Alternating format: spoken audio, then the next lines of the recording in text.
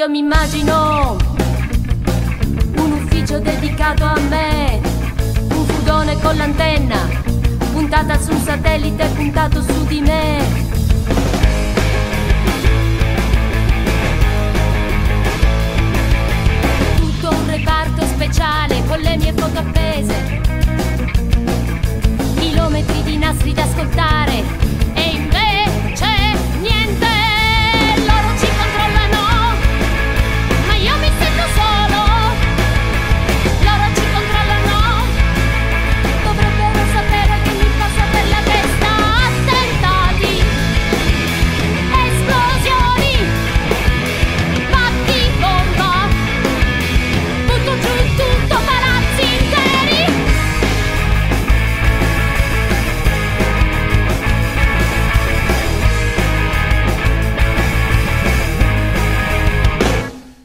L'altro giorno l'incrocio per strada.